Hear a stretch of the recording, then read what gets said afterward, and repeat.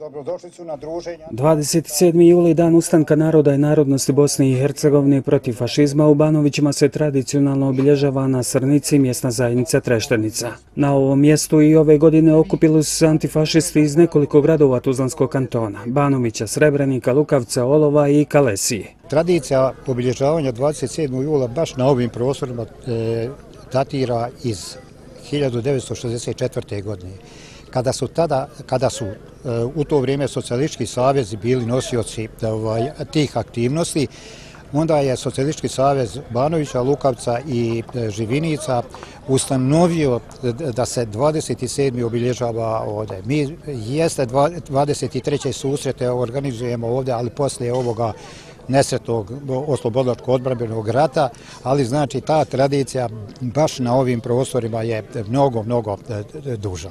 Prema riječima Zlatka Dukića, predsjednika Saveza antifašista i boraca Narodno-oslobodilačkog rata Tuzlanskog kantona, 27. juli je datum koji se ne može izbrisati iz naše historije. Nesvatljivo je da danas neki obilježavaju 25. novembar, dan državnosti i godišnicu prvog zasjedanja Zavnobiha, a da uopće ne spominju 27. juli. Kao da je 25. novembar i Zavnobih pao s neba. Kao da se nešto nije prvo desilo 41. godine, da se neko digao na ustanak, da se ne pomiri sa okupacijom, sa nacizmom i da odluči da se bori za slobodu. I zato ta priča o 27. julu 1941. godine i o podizanju ustanka naroda i narodnosti Bosne i Hercegovine ima značaj u vezi sa kulturom sjećanja normalnih ljudi. Oni koji su obolili od virusa nacionalizma i neofašizma, oni pokušavaju pisati novu istoriju i naravno neće uspjeti.